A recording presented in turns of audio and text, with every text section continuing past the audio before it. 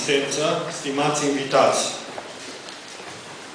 Putem spune că orașul nostru, Târgu Mureș, este un oraș foarte activ din punct de vedere cultural. Dacă citim ziarele, observăm că sunt o mulțime de evenimente culturale, dintre care multe lansări de carte.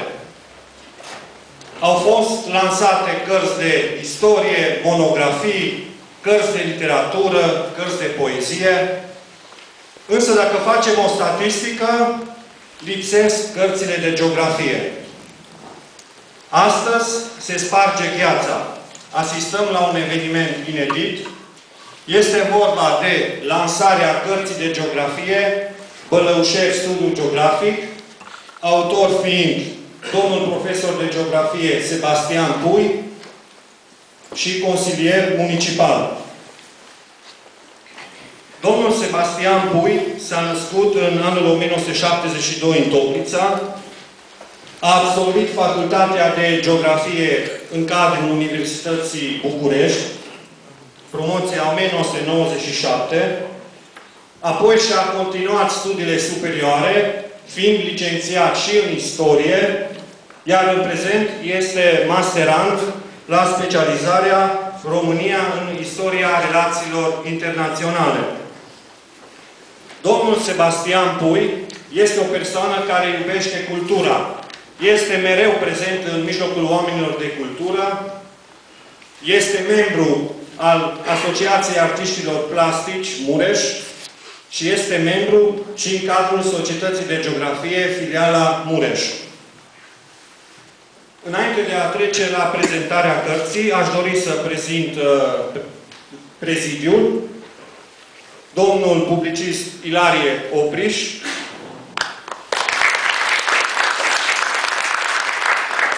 domnul profesor doctor Adrian Conțiu, de la Colegiul Național Alexandru Patrick Adrian, autorul, domnul profesor Sebastian Călic, secretarul evenimentului de astăzi, domnul deputat Ciprian Dobre, domnul Șagebo Ișvan, primarul Comunei Bălăușor, și domnul profesor inginer Cornel Rauca. Pentru început, doresc să dau cuvântul domnului profesor doctor Adrian Conțiu. Mulțumesc.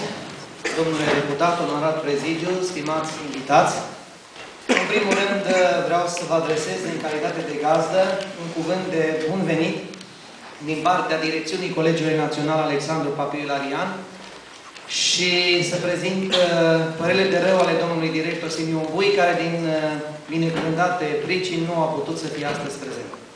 În al doilea rând, în calitate de coleg și prieten al domnului Sebastian Alexandru Bui, am să prezint câteva aspecte legate de această lucrare, cum ați auzit, Bălăușer, studiu geografic, apărută la editura Veritas, Târgu Mureș, 2010. Pentru început, uh, câteva date statistice pe care le-am cules uh, uh, citind lucrarea. Lucrarea doi referenți științifici, profesor la Universitatea din București, pe domnul conferențiar universitar dr. Alexandru Nedelia, care a semnat și cuvântul înainte, și pe domnul lector universitar dr. Adrian Tișcovski, care a semnat și prefața. Are 200 de, 203 pagini și un CD, are 48 de fotografii, 9 hărți, printre care hărți de specialitate realizate în programe digitale, cum ar fi GIS, precum și hărți satelitare, chiar și o artă istorică, arta Iosefină, are 35 de tabele, 20 de figuri, 3 desene, 39 de pagini color, 60 de titluri bibliografice.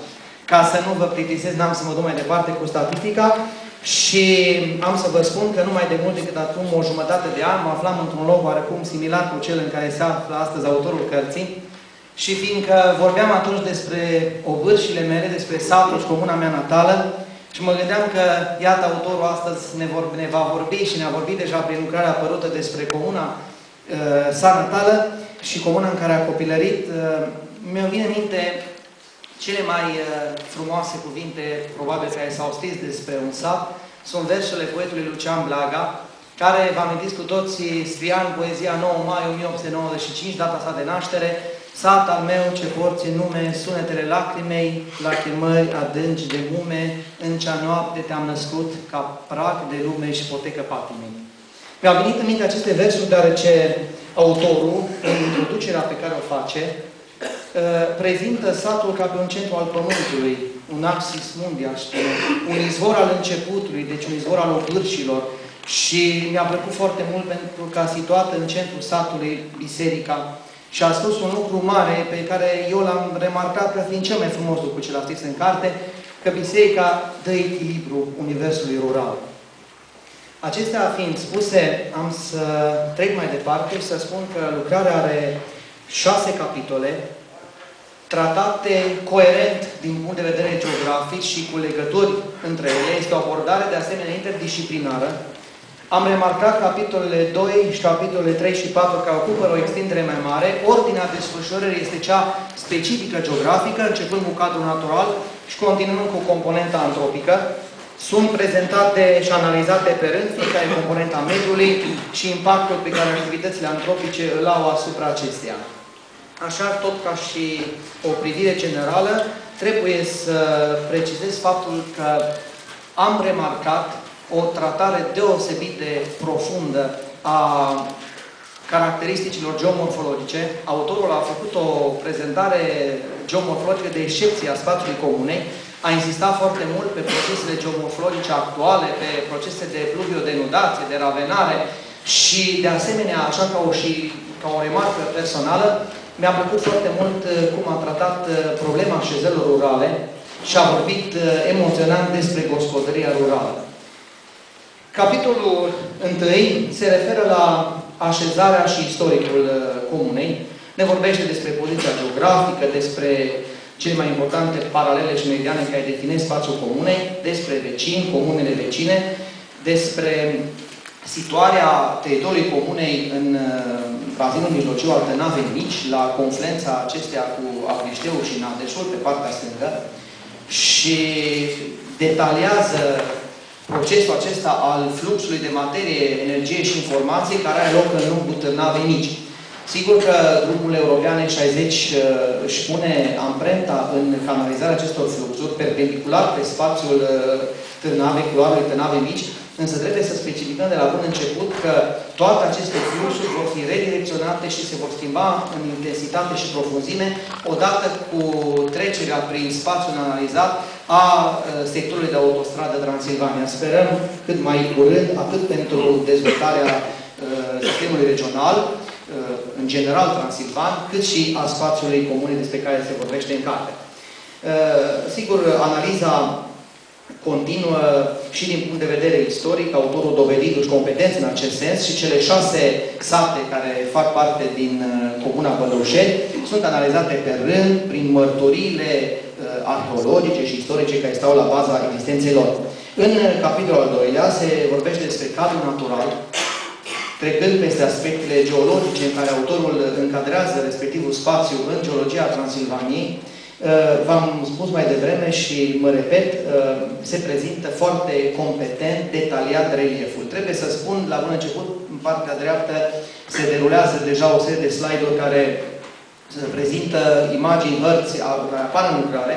Trebuie să spun că materialul uh, ilustrativ, aceste hărți, dar și mai ales imaginile sunt foarte sugestive pentru înțelegerea, în cazul acesta, a proceselor geomorfologice actuale care definesc uh, spațiul comunei. Uh, hipsometric, uh, autorul ne arată că teritoriul comunei se înscrie între 315 altitudinea minimă în Nunca Tenave Mici, 587 de metri, în sudul comunei altitudinea maximă.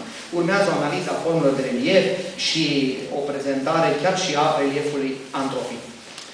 Apoi urmează o prezentare a potențialului climatic, în care sunt analizate în ordine geografică firească factorii climatogenetici, elementele climatice, temperatura, precipitațiile și vântul.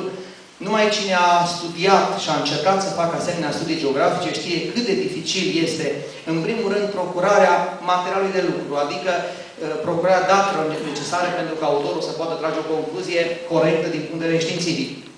Apoi, Câte nopți a petrecut, îi spuneam chiar în momentul când m-a anunțat de lansarea acestei cărți, câte nopți și zile și ore a petrecut uh, studii, interpretând, decelând, analizând, uh, trăgând concluzii necesare, încercând să facă și o prognoză. Uh, este lăudabil, fac o paranteză aici, faptul că un profesor, de data asta vorbește un prieten de un publicist, de un consilier local, s-a aplicat asupra acestor aspecte care Uh, nu înseamnă nicio remunerație, nu înseamnă nici măcar o apreciere în secolul 21, ci înseamnă o muncă și o plăcere a muncii pe care o simte fiecare autor în parte. Mi-aș dori să trăim în viitor, în viitorul apropiat, aș zice, vremuri în care uh, și o asemenea muncă științifică să fie apreciată ca atare, pentru că, uh, iată, se dovedește faptul că și învățându pe universitate sunt oameni de valoare care pot și pot studia cu competență asemenea aspecte. Apoi urmează un capitol de hidrografie în care sunt analizate apele de suprafață, apele subterane. Uh, sunt, uh, este prezentată, de fapt, uh, și aici și și un pic mai încolo în carte, la modul de utilizare a terenurilor, aspectul acesta al polderelor și este un aspect foarte important pentru viitorul Comunei Vălăușe. Profesorul Pop de la Universitatea Babeș-Bolyai numește acest sistem sistem de tip semipolder.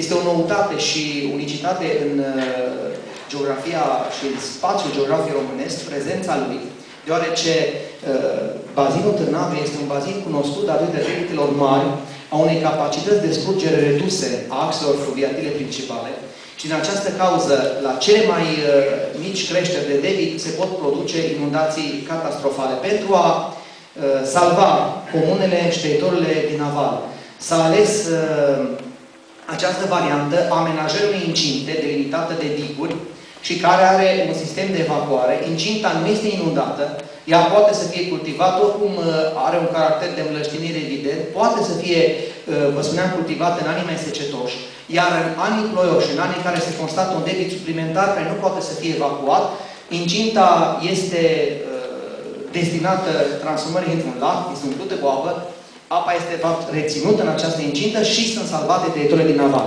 Autorul prezintă cu foarte multă competență acest aspect și cei care o să fiți interesanți, o să puteți uh, citi din lucrarea domniei sale. Apoi uh, urmează, în mod logic, elementele de biogeografie, sunt analizate uh, vegetația, fauna și solurile comune.